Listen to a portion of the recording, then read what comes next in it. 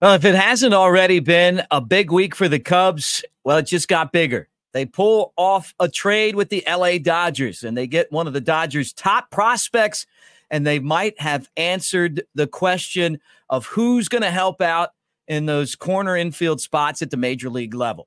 Welcome to the Cubs Baseball Channel. We're going to talk about the trade to get Michael Busch from the Dodgers, what it means to the Cubs, and more. Thanks for hanging out with us here on the Cubs Baseball channel. Make sure that you like and subscribe. Hit the bell so you know when something happens. We're going to be here to talk to you about it. Go Cubs.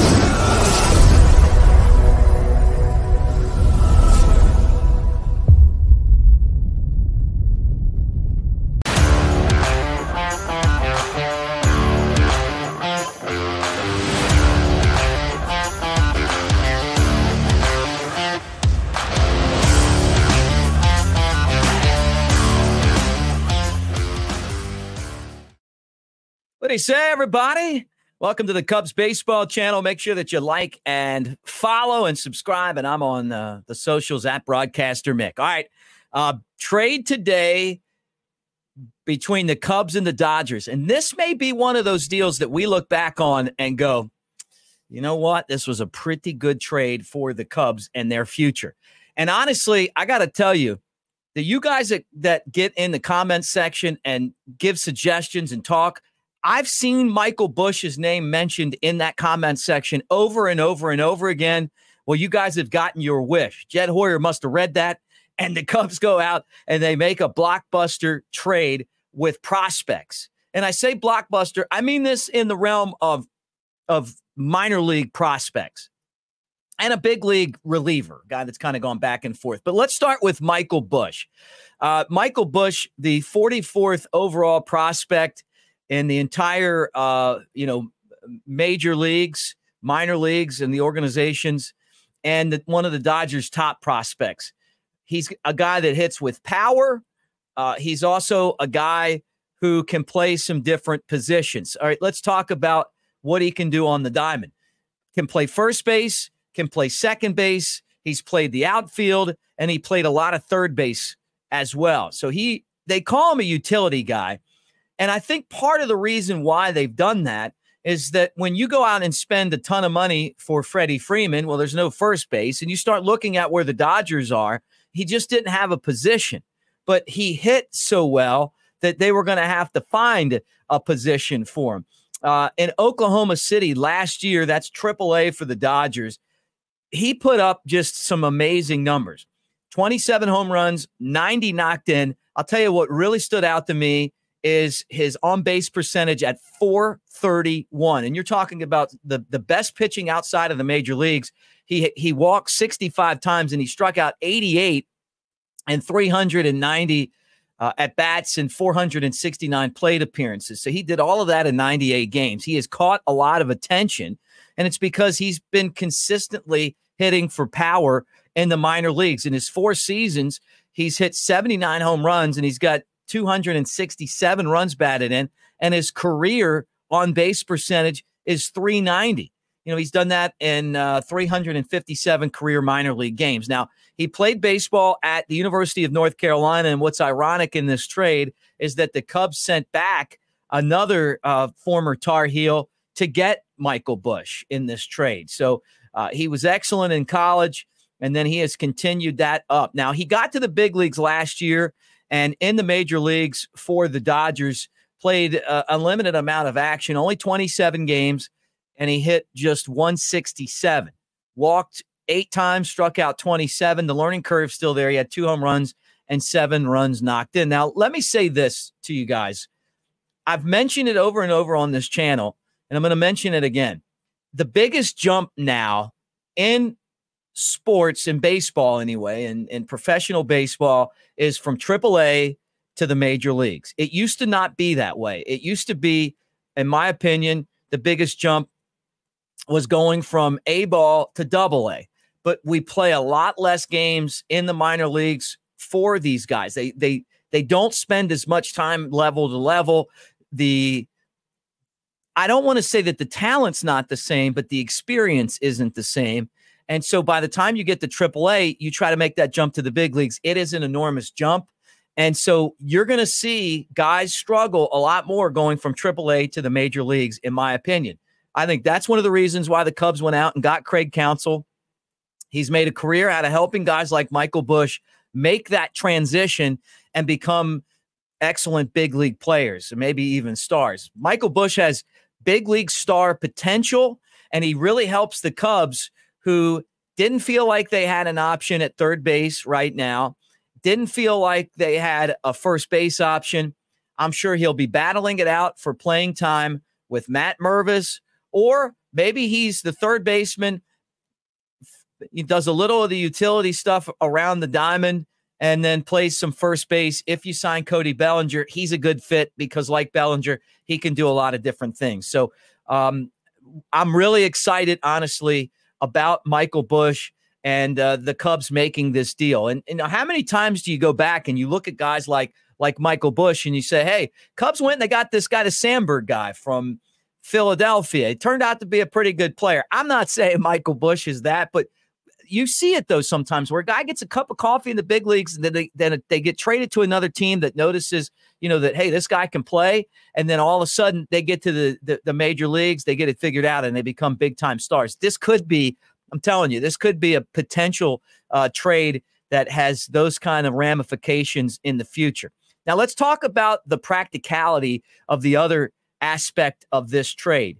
And uh, the cubs have to have some help in the bullpen. They've, they've lost some guys, Michael Fulmer being one of those pitchers. Now they need some help out there. And here comes Yency Almonte, right hander, uh, not a flamethrower. You know, throws, uh, and I'll give you his pitch arsenal right now.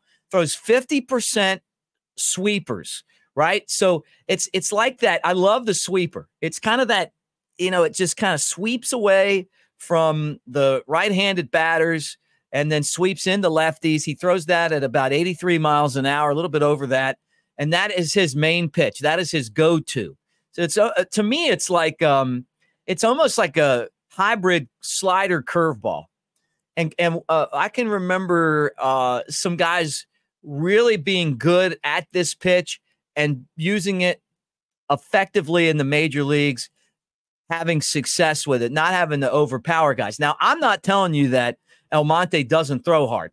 His sinker, 95.8 miles an hour. His four seamer, 96. So whether he's up in the zone or whether he's down in the zone, he's consistently around 96 miles an hour.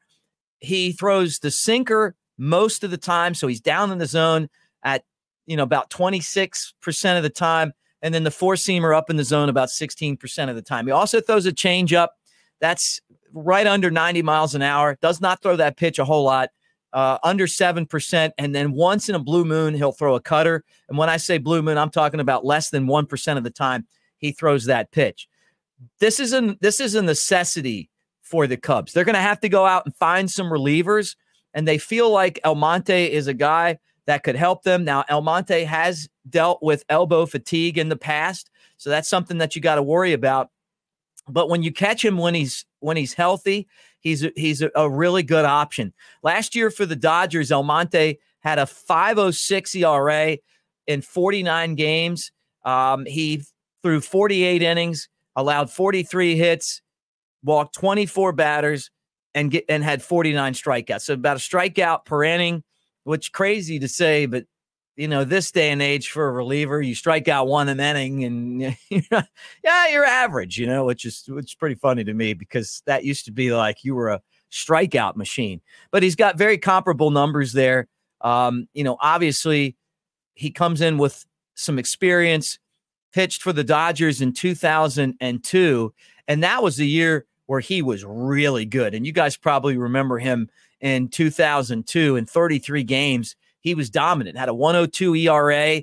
That's the guy the Cubs are hoping that they get. He only allowed 18 hits in 35 innings, only walked 10, struck out 33. He was a really good option out of the bullpen for the Dodgers that season.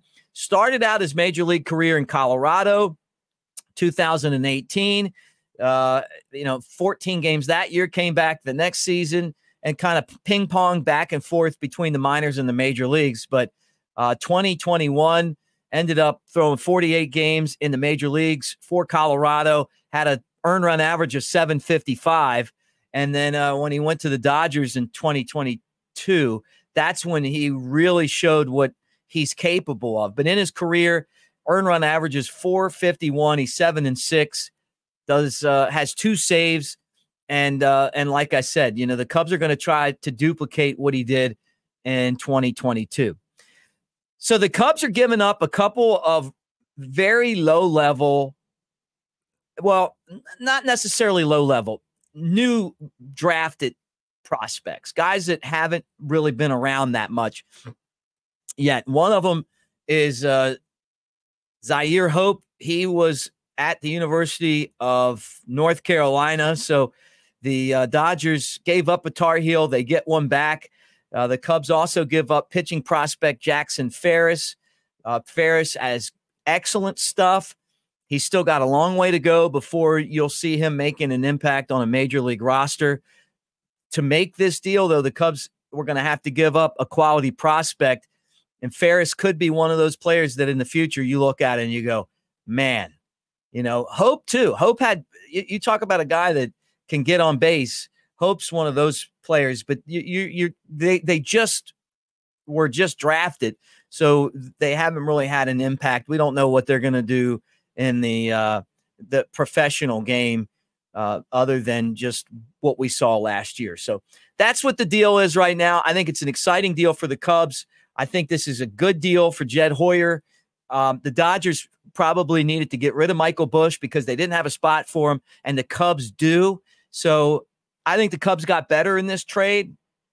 You always take risks when you trade really young prospects because you don't have a chance to evaluate how the transition's going from amateur ball to the big leagues.